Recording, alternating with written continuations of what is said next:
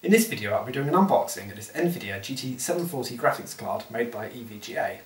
I bought it from Amazon for £78. I went with this card because it's a slightly higher spec for the 740 graphics card than a lot of the others around. It's got GDDR5 memory, it's 2 gig of memory in there.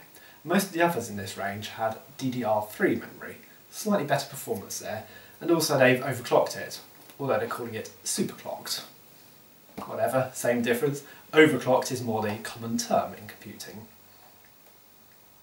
This is to replace my NVIDIA GT640 graphics card in my home theatre PC. Now there's not a huge performance boost there, but it's going to be slightly quieter because this one has a larger fan on it. This is the main reason I bought it, and I didn't really want to go up any higher in the range because the motherboard only has a 4x PCIe slot. Now I know graphics cards normally require a 16x slot, but they will work in a smaller slot, you're throttling them though if you do so.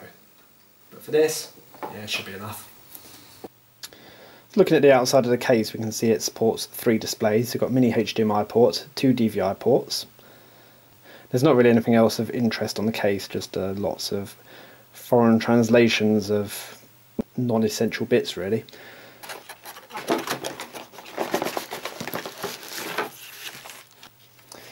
So there's some important attention information there.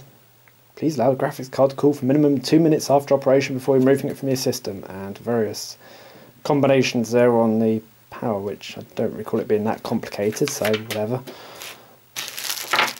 Included in the case is a dual Molex to PCIe power adapter, a DVI to VGA adapter,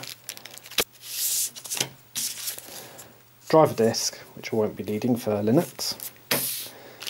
Now what they haven't included is a mini HDMI to HDMI adapter. Great. So now I've got to find another cable or another adapter.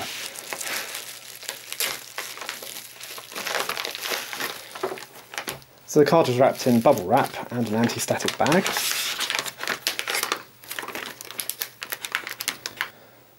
So the plastic side of the card is covered in this protective film.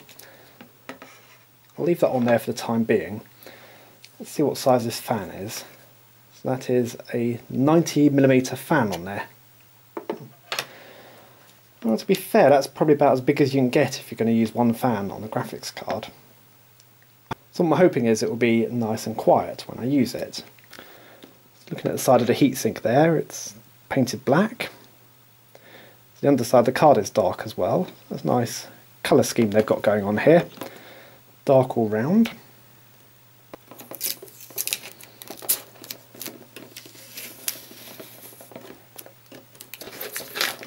It's a tough old bit of protection that. Very sticky. The plastic is mostly a matte black finish with a slight glossy edge here. That wouldn't be too bad to look at if you had it in a windowed case. Unfortunately I don't know. So yeah, a nice dark colour scheme they've got going on here with this EVGA GT740 graphics card. Thanks for watching, I'll see you all later.